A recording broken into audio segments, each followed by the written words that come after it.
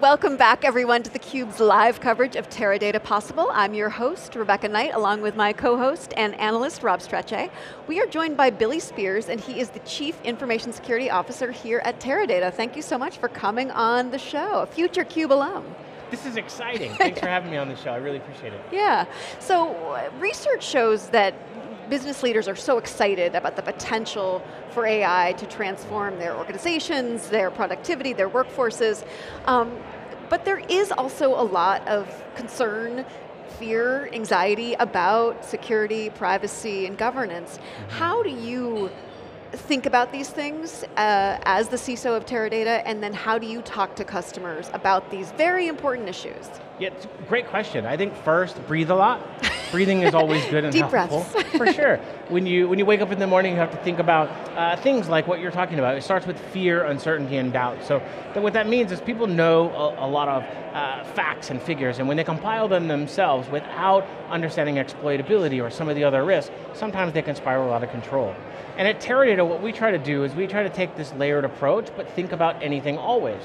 Meaning, we can go back into things like Gen AI and say, here's, here's some way that we're going to help you get better, faster, smarter, smarter, uh, accumulate the results of your data much quicker. And we think about the adversarial consequences so you don't have to. You know, our goal with security at Teradata is to do two things. First is we want to continue to build trust with our customers, we want to grow that trust so they'll continue to expand their use of our platform and get all the goodness uh, as a result. The second thing we want to do is we want to think about uh, resiliency right from the start. So if bad things do happen, we're right there side by side and helping you get back up and running as quick as possible.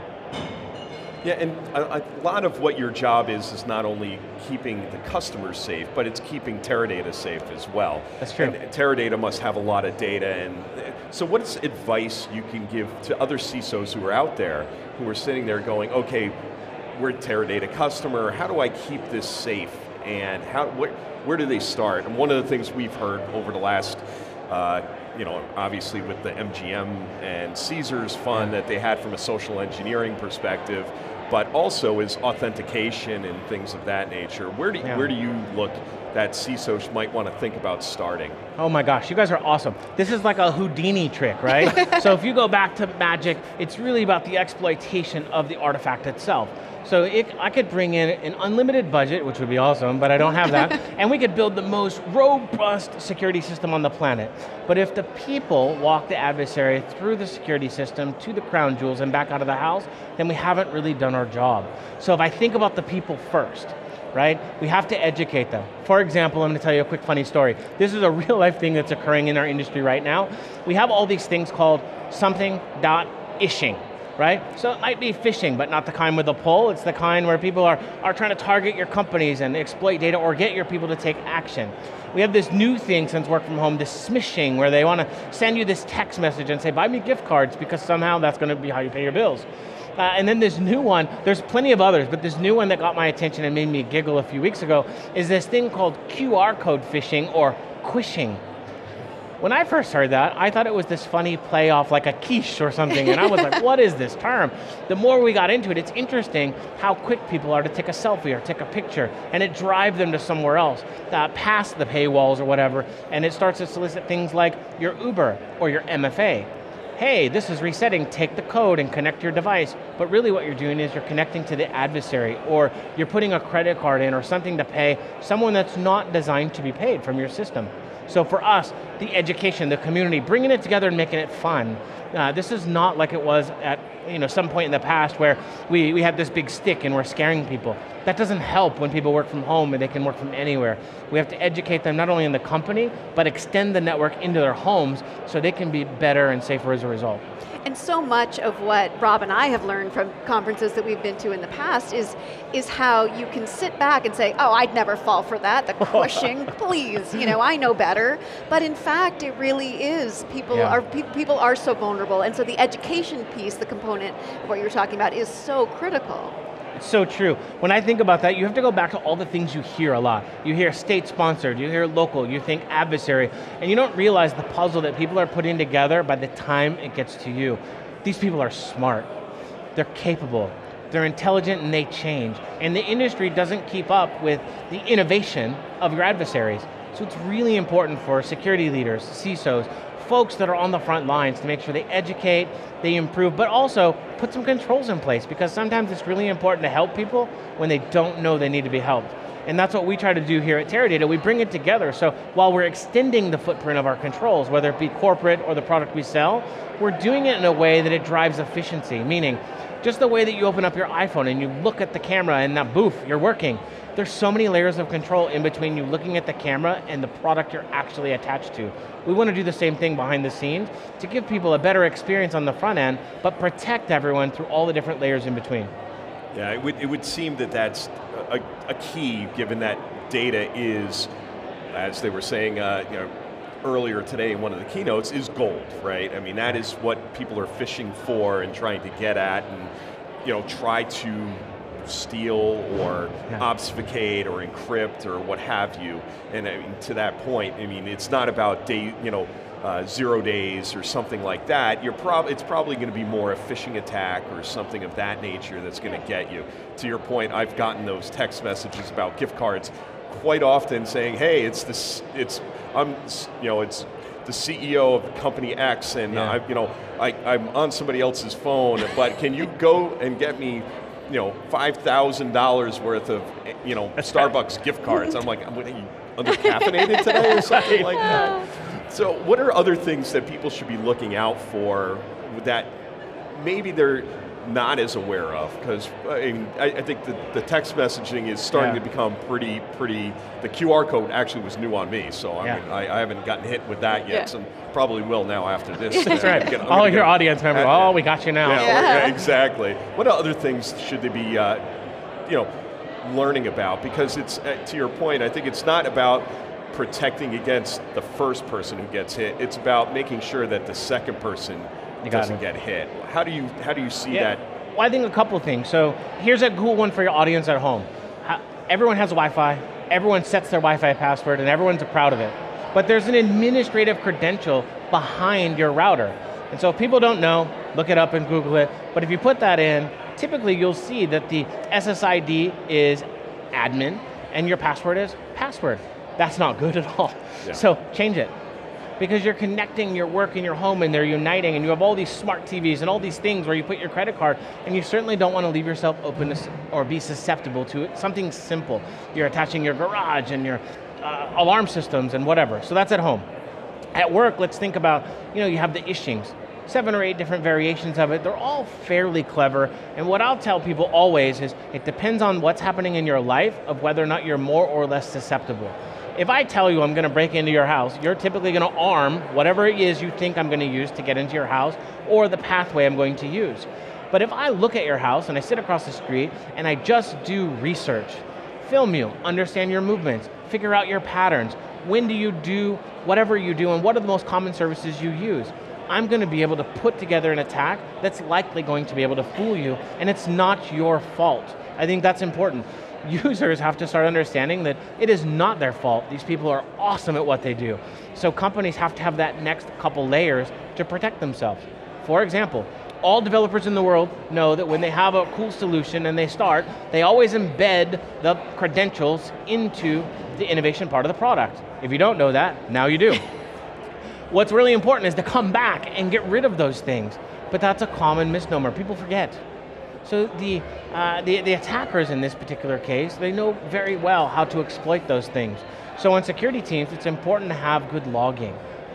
You have to be able to see things. As a CISO, what keeps me up at night is not being able to see. The unknown attacker is super scary. The things that I understand, it's easy. We have things like this MITRE ATT&CK uh, framework and whatnot. As long as I can keep you to the left, I win. The further to the right you get, you win. Which really means the company loses, the customers lose we can't afford to have that in, in 2023 going into 2024.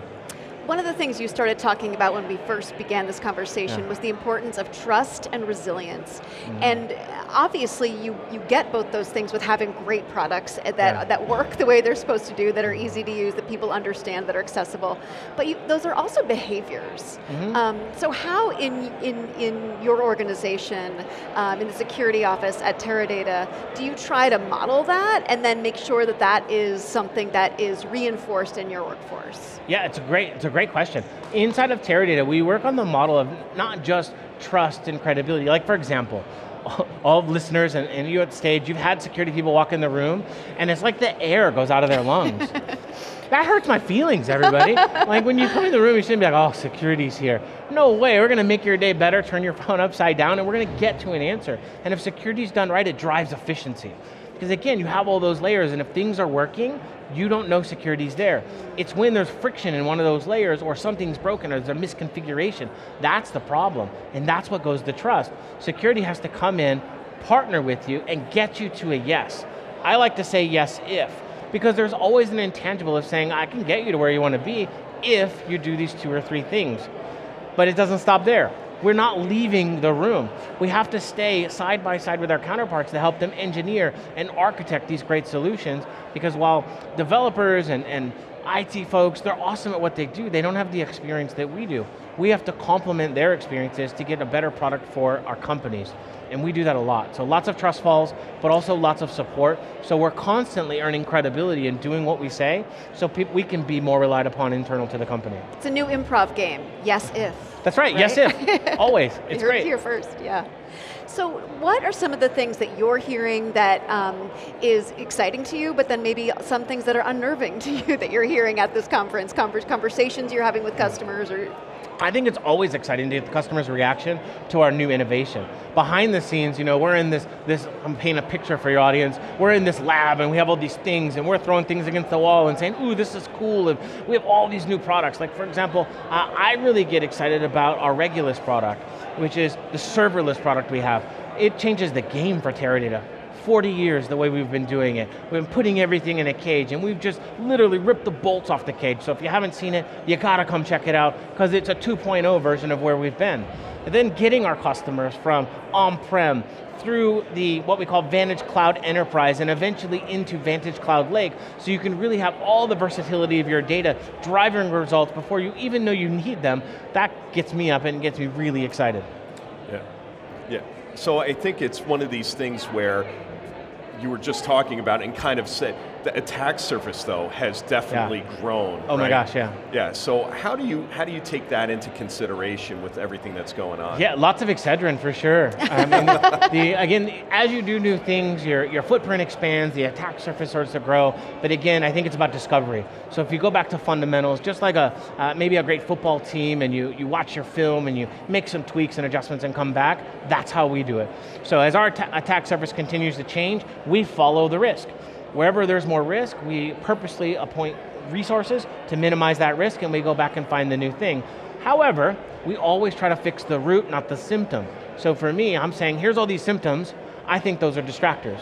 What's the root? Let's solve that root and watch how the behavior of the symptoms also follow suit. What are some things that you are looking forward to in the year ahead that we're going to be talking about at next year's possible?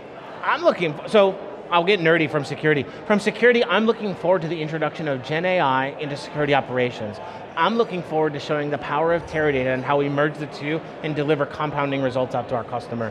That's going to be really, really cool. I know it was sort of a teaser for all of you. Stay tuned, check back with us, and I hope you come back to Possible next year and get to see all about it. Yeah, that's what I want to I want to hear is how are you using that so you can get and enable your your Yeah. team to actually find things faster, look for anomalies Yeah. and stuff like that. And that has to be some of the stuff that you're kicking around in the lab and looking to use. Because I mean, obviously being a data company, I'm sure you have a lot of security sensor data and things of that We do. nature. Yeah. We look, we look at billions and billions of events every single day. Uh, not joking, multiple billions. So it's hard for any human to really hone in. So it's really important that you have great intake, so data from everywhere. You have a great accumulation, so you get everything into that same place so you can make a logical decision. You write rules to weed out sort of the, uh, the data that's unnecessary, right? But you also have great threat feeds, because that's the landscape. We need good intelligence, so as we understand what's happening from left to right across our landscape, we know how to adjust internally. And most importantly, we have to have great plans we can follow. So as we get from a tier one all the way through tier three, and then those incident response plans, we know how to have to, we have to be able to stand them up effectively so that we can again deliver consistent results, not just for internal customers, but external customers alike. Excellent. Well, Billy Spears, thank you Thank so you. much for coming on theCUBE. It's been a lot of fun. Thank you, this was awesome. I'm Rebecca Knight for Rob Strechay. You are watching Teradata Possible, theCUBE's live coverage. Stay tuned.